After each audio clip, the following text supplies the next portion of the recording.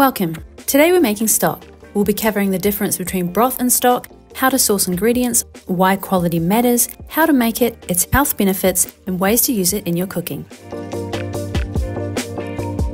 Sometimes called bone broth, stock is simply bones from chicken, beef, pork, or fish, simmered with select vegetables and water for a long time to release minerals and gelatin.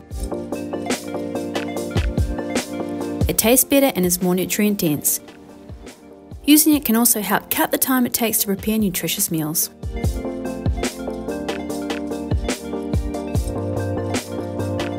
Stock is made primarily with bones, while broth is made more out of meat and bones that is usually browned first to increase flavour.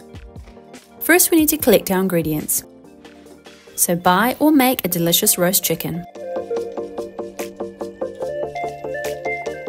When you're finished, strip the meat from the carcass and freeze the bones in a container. You can also buy chicken frames ready to go. We eat a roast chicken about once a week, primarily so I can collect the leftover bones to make stock. You'll need beef bones too. Get them from your butcher or farmer's market, as well as pig's feet. You may need to request to have them set aside for you.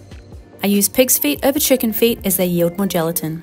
I use a mix of bones because I want the variety and nutrients from each, but also a well rounded, subtle flavour.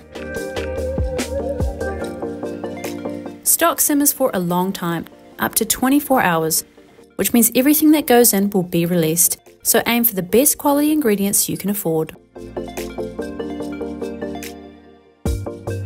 Start with a large heavy bottom pot.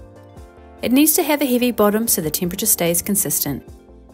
Fill your pot to at least half with bones. I use beef bones, pig's feet, and saved chicken carcasses. You don't have to make a huge batch like this, I just do it this way because it means I have to do it less often.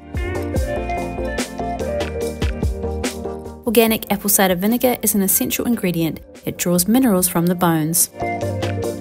Now we're going to add our mirepoix, which is just a French term for the essential three ingredients of carrot, celery, and onion. Onions chopped in half with the peel on, garlic with the root chopped off and given a light smash if you like. Bay leaves, whole peppercorns, any fresh herbs like thyme, oregano, rosemary, tied with some food safe kitchen twine. Kombu seaweed is an optional ingredient. I like to add it as it is rich in iodine. There's no need to add salt to stock, as it's a base ingredient that is mostly added to other dishes. Once you've put everything in the pot, fill it with clean, cold, purified water until everything is covered. Cold water allows the impurities to rise to the top to be skimmed off. Bring the stock to a simmer only. Skim off the scum or foam that rises to the top. These are impurities that can lend an off flavour, so it's important they're removed. Keep your stock at the lowest simmer you can maintain for the 12 to 24 hours it's going to be on the stovetop. Because the big bones like beef take a while to release their minerals. The longer you cook your stock, the more flavourful and rich it will be. It's up to you how long you let it go for. Alright, now that that's simmering, let's touch on some health benefits. Stock provides an abundance of minerals that are easily assimilated, like calcium, magnesium, and potassium. It reduces the symptoms for colds by hydrating the body and loosens mucus so it can run.